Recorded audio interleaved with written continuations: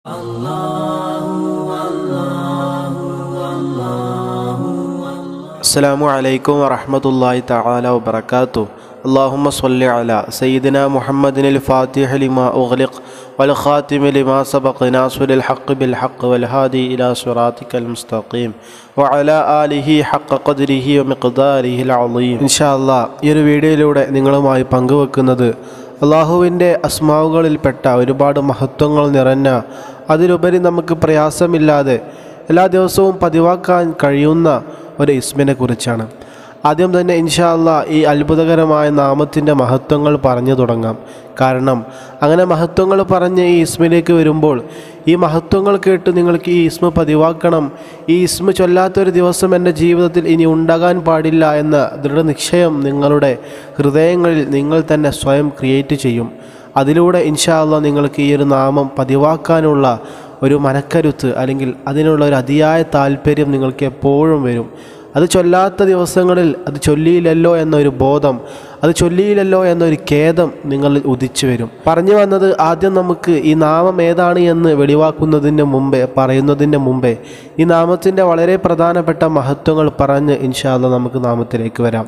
പ്രിയരെ നമ്മൾ ഈ പറയാൻ പോകുന്ന നാമത്തിന്റെ വളരെ പ്രധാനപ്പെട്ട ഒന്നാമത്തെ പ്രത്യേകത എന്നുള്ളത് നമ്മളെല്ലാവരും ബിസിനസ് ചെയ്യുന്നവരാണ്. അതുപോലെ കച്ചവടത്തിൽ ഏർപ്പെടുന്നവരാണ്.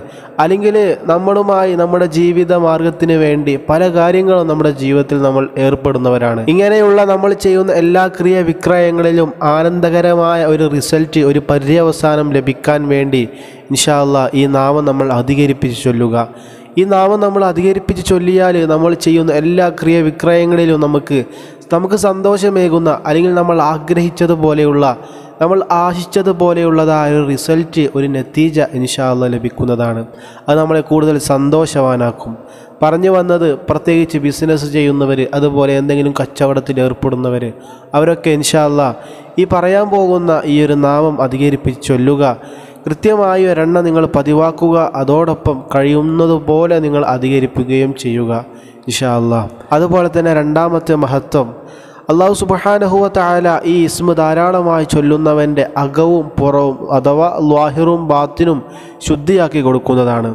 അള്ളാഹുവിന് ഇഷ്ടമില്ലാത്തതായ അള്ളാഹുവിന്റെ അനിഷ്ടത്തിൽപ്പെട്ടതായ കാര്യങ്ങൾ അവന്റെ ഹൃദയത്തിൽ നിന്ന് ബാഹ്യമായ അതുപോലെ തന്നെ ആന്തരികമായ സകല രീതിയിലും അള്ളാഹു സുബഹാനഹുവ താല അവനെ ശുദ്ധീകരിക്കുന്നതാണ്. ഇതാണ് രണ്ടാമത്തെ മഹത്വം. അതുപോലെ തന്നെ മൂന്നാമത്തെ വളരെ പ്രധാനപ്പെട്ട മഹത്വമാണ് ഇൻഷാല്ല നമ്മൾ ദുഃഖിക്കേണ്ട കാര്യം ചെയ്യുന്ന ഒരവസ്ഥയിലേക്ക് ഈ ഒരു ദിക്കർ ഈ ഒരു നാമം പതിവാക്കുന്നവന് അധികരിപ്പിക്കുന്നവന് എത്തേണ്ടി വരില്ല. പറഞ്ഞു വന്നത് ഇങ്ങനെ ഒരുപാട് മഹത്വങ്ങളുണ്ട്. എല്ലാം നമുക്ക് എപ്പോഴും പറയാറുള്ളത് പോലെ തന്നെ പറയാൻ സാധിക്കില്ല. ഇൻഷാല്ല ഇതിന് മറ്റു മഹത്വങ്ങളൊക്കെ ഉണ്ട് എന്ന് സമ്മതിച്ചുകൊണ്ട് അവ നമ്മൾ മനസ്സിലാക്കിക്കൊണ്ട് നമ്മൾ ഈ പറയാൻ പോകുന്ന നാമം നമ്മൾ ധാരാളമായി കഴിവിന്റെ പരമാവധി നമ്മൾ ചൊല്ലാൻ ശ്രമിക്കുക ഇൻഷാ അല്ലാ അപ്പോൾ ഇനി നമുക്ക് നാമത്തിലേക്ക് വരാം. നമ്മൾ ഈ പറഞ്ഞ മഹത്വങ്ങളെല്ലാം ഉൾക്കൊള്ളുന്ന അത്ഭുതകരമായ നാമം അള്ളാഹുവിന്റെ തൊണ്ണൂറ്റി എട്ടാമത്തെ നാമമായ യാ റഷീദു എന്ന് പറയുന്ന നാമമാണ്. യാ റഷീദു യാ അള്ളാഹ് യാ റഷീദു യാ അള്ളാഹ് യാ റഷീദു യാ അള്ളാഹ്.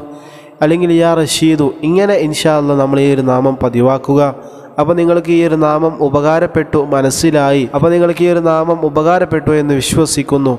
ഇതുപോലെയുള്ള അള്ളാഹുവിന്റെ വ്യത്യസ്തമായ നാമങ്ങളും അവയുടെ മഹത്വങ്ങളും അവയുടെ ഫലങ്ങളുമായിട്ട് നമുക്ക് നെക്സ്റ്റ് വീഡിയോകളിൽ കണ്ടുമുട്ടാം. ഇലൽ അസ്സലാമു അലൈക്കും വറഹമത്തല്ലാഹി തആല വബറകാതുഹു. ഊസൈക്കും ബിദ്ദുആ സല്ലല്ലാഹു അലാ സയ്യിദിന മുഹമ്മദ് സല്ലല്ലാഹു അലൈഹി വസല്ലം.